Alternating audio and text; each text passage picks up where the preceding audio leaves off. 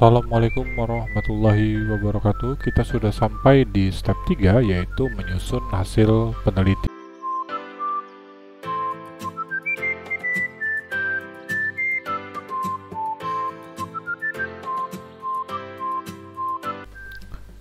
Bagi Anda yang belum menonton uh, step 1 dan step 2 Saya sarankan untuk melihat video tersebut Karena pembahasan kita di step 3 ini terkait dengan step-step sebelumnya.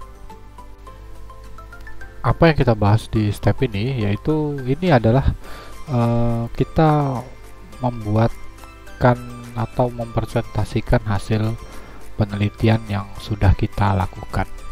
Jadi kalau di step 2 yaitu metode di situ kita menjelaskan uh, how gitu bagaimana kita menjawab uh, pertanyaan penelitian atau menjawab permasalahan dengan menjelaskan prosedur dan metode yang kita gunakan, maka di bagian hasil ini adalah apa yang telah kita temukan. Jadi ini adalah kelanjutan dari uh, chapter sebelumnya yaitu uh, metode.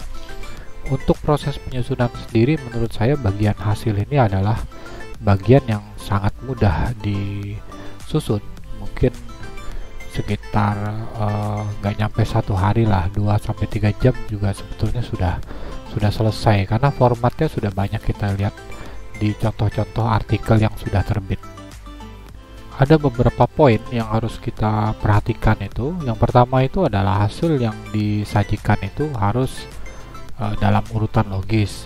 Urusan log logis ini maksudnya uh, step uh, tahapan yang kita jelaskan di sini ini harus sesuai dengan uh, standar pelaporan yang yang umum ya yang digunakan oleh jurnal. Jadi misalnya untuk hasil pertama yang perlu kita jelaskan itu adalah deskriptif uh, statistik uh, dan korelasi. Misalnya mau kita gabungkan, kemudian hipotesis uh, testing gitu dua. Jadi ada statistik deskriptif dan dilanjutkan statistik uh, inferensial. Jadi itu adalah prosedur dalam pelaporan untuk uh, penelitian kuantitatif bisa juga di awalnya kita tambahkan uh, hasil awal ya preliminary risetnya. Misalnya kita mau uh, tambahkan hasil pengujian instrumen validitas uh, reliabilitas dan uh, common method bias itu juga bisa kita tambahkan. Berarti sub hasil itu nanti jadi tiga. Pertama itu adalah uh, evaluasi instrumen yang kedua itu adalah deskriptif statistik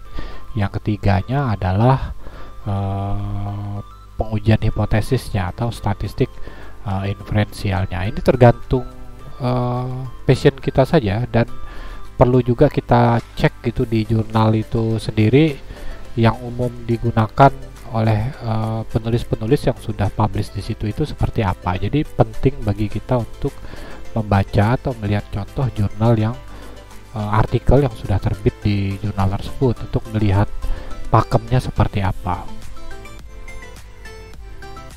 Poin penting lainnya adalah jangan uh, menduplikasi data, gambar dan tabel gitu ya, dan teks. Ini yang uh, saya jelaskan di step 1 itu, itu kadang-kadang kalau dari output uh, uh, statistik itu itu kadang-kadang kita tampilkan berulang-ulang gitu ya. Jadi uh, makanya uh, sebaiknya kalau tabelnya itu informasinya terlalu sedikit ya kita gabungkan gitu. Jadi lebih lebih efisien supaya tidak berulang-ulang uh, dibacanya. Contohnya misalnya untuk regresi di situ ada uh, goodness of fit gitu, ada R square, kemudian ada UJF, kemudian ada koefisien ya. Tiga tabel itu kita gabungkan menjadi satu supaya orang bacanya tidak berulang-ulang. Saya akan memberikan contoh empat tulisan kami ya yang dua di Springer dan dua di Emerald gitu. Nah, untuk yang pertama ini artikel kami di Springer di Biomed Central. Ini untuk hasilnya sendiri cuma ada dua subchapter yaitu deskriptif uh, statistik, kemudian yang keduanya itu hipotesis testing. Jadi uh, pelaporan kami seperti ini, jadi ada analisis deskriptif, seperti yang saya jelaskan di step 1 maka standar pelaporan untuk uh, uh, statistik itu kita bisa gabungkan dengan korelasi ya. Jadi formatnya seperti ini untuk memudahkan uh, pembaca. Kemudian untuk hipotesis testingnya sendiri kita bisa tampilkan uh, seperti ini. Jadi jangan pernah mengcopy paste output uh, statistik. Kalau kita lihat dari sini ini untuk pembahasan deskriptif statistiknya pun cuma satu paragraf gitu ya. Jadi uh, memang untuk hasil sebetulnya nggak nggak terlalu banyak yang dijelaskan karena ini murni hasil. Jadi kita menampilkan hasil.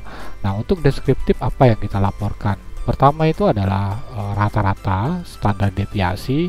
Bisa juga kita gabungkan uh, pelaporan uh, korelasinya. Kalau seandainya mau melaporkan VIP-nya ini adalah uh, multikolinearitasnya juga bisa kita kita laporkan. Kemudian yang perlu diperhatikan adalah uh, standar penulisan dari uh, angka yang ada di tabel ya. Jadi angka yang ada di tabel itu kita harus buat standarisasinya. Jadi misalnya untuk rata-rata kita bisa pakai dua desimal misalnya untuk standar deviasi dan yang lainnya itu kita bisa pakai uh, tiga desimal atau mau kita samakan tiga desimal uh, tiga desimal gitu ya di belakang uh, koma. Bisa kita uh, gunakan. Yang penting jangan terlalu banyak gitu ya angkanya. Saya kalau yang terkini terkini itu saya menggunakan cuma dua desimal gitu. Jadi dua dua angka di belakang koma. Yang ini kebetulan kita menggunakan hierarchy regression analysis HRA jadi penjelasannya juga sangat singkat gitu. Jadi tabel outputnya cuma untuk uh, deskriptif dan korelasi. Kemudian ada untuk pengujian hipotesis kemudian penjelasannya seperti ini. Saya akan nanti jelaskan penjelasannya tapi mau saya tampilkan dulu contoh yang lainnya dulu. Nah untuk yang kedua ini di emerald. Untuk di emeraldnya sendiri eh, kami masukkan untuk di hasil itu pembahasan pertamanya adalah common method bias. Common method bias ini juga penting biasanya kita uji. Uh, saya kadang-kadang memasukkan ini kadang-kadang tidak gitu. Kalau seandainya reviewernya minta baru kita masukkan. Tapi lebih bagus kita masukkan untuk pengujian common method bias. Mungkin untuk teknik pengujiannya nanti saya jelaskan terpisah gitu video terpisah.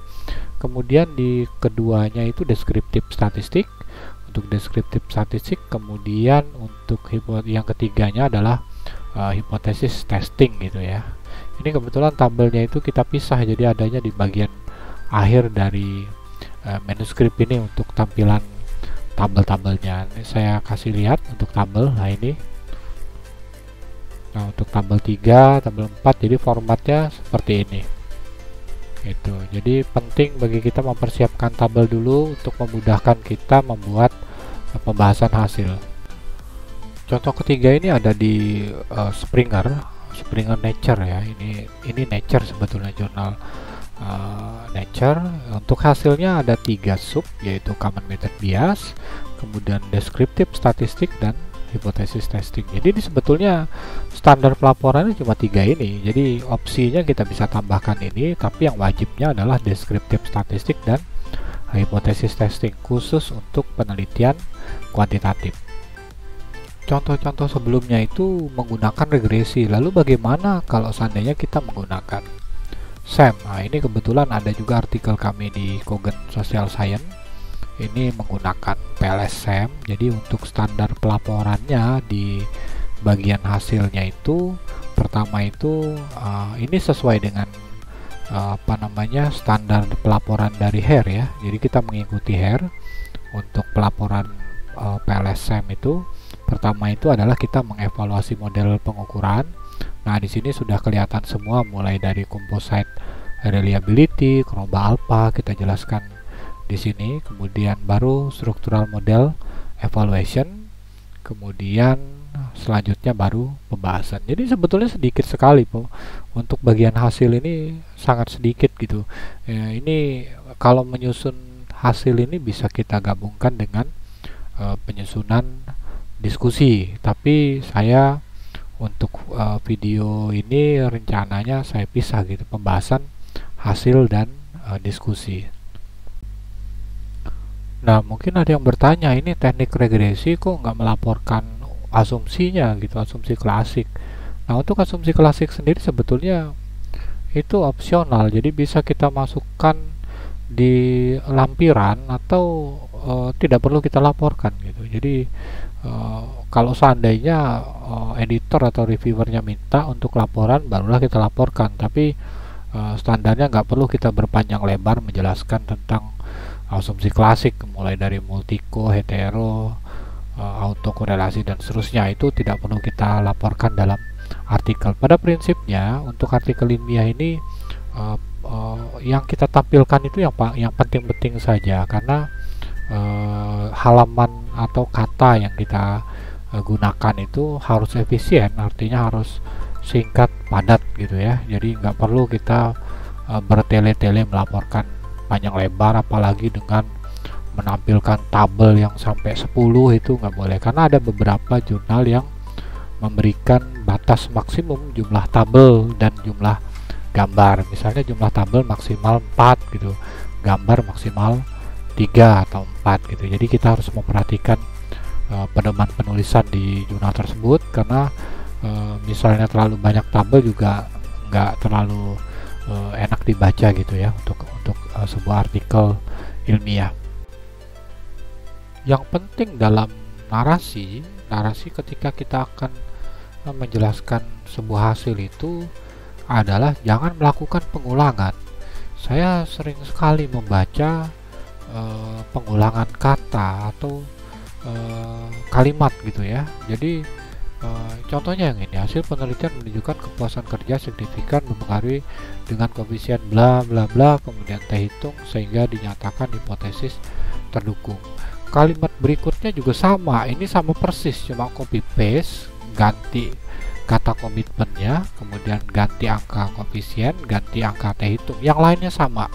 Nah, untuk format pengulangan seperti ini ini nggak nyaman dibaca gitu. Jadi e, kalau saya selalu saya komentari nggak boleh ada pengulangan seperti ini. Jadi kita harus membuat atau menarasikan hasil kita itu senyaman mungkin dibaca gitu. Jangan sampai orang bacanya berulang-ulang cuma diganti angka sama nama variabel. Ini sering saya lihat apalagi artikel-artikel yang berasal dari skripsi itu pengulangannya berkali-kali gitu cuma diganti angka dan nama variabelnya bentuk formatnya sama persis gitu katanya dengan demikian narasi yang kita susun dalam pembahasan itu harus uh, mengalir dan enak dibaca. Sebetulnya tips yang gampangnya itu adalah kita lihat saja artikel yang sudah terbit gitu ya.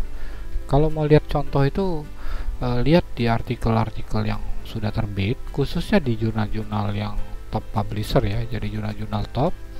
Nah itu kita bisa melihat atau mencontoh uh, cara penulisnya membuat narasi dalam uh, membahas hasil penelitian gitu ya. Jadi dari format mereka itu ya bisa kita ganti dengan uh, versi kita gitu. Nama variabelnya ganti kemudian uh, angkanya diganti uh, dan seterusnya gitu. Jadi cara yang tips paling mudahnya yaitu dengan melihat contoh contoh yang yang sudah ada gitu.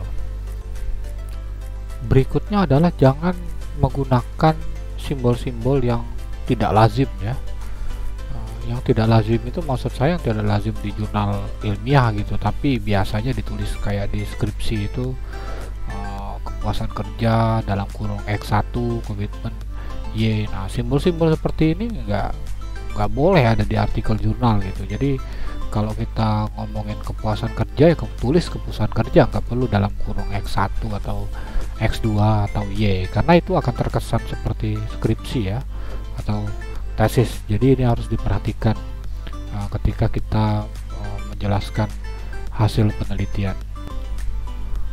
Untuk bagian hasil menurut saya ini bisa cepat kita susun. Jadi kalau seandainya uh, mau kita gabungkan penyusunannya dengan metode ini satu hari selesai gitu. Jadi menyusun metode sekaligus uh, menyusun hasil di hari yang sama. Nanti mungkin di step-step akhir bisa kita recap gitu kira-kira uh, butuh berapa hari untuk menyusun artikel secara utuh. Demikian untuk uh, step 3 ini. Semoga bermanfaat. Kita ketemu lagi di uh, step keempat yaitu diskusi. Jadi pembahasan artikel. Tetap sehat tetap semangat. Wassalamualaikum warahmatullahi wabarakatuh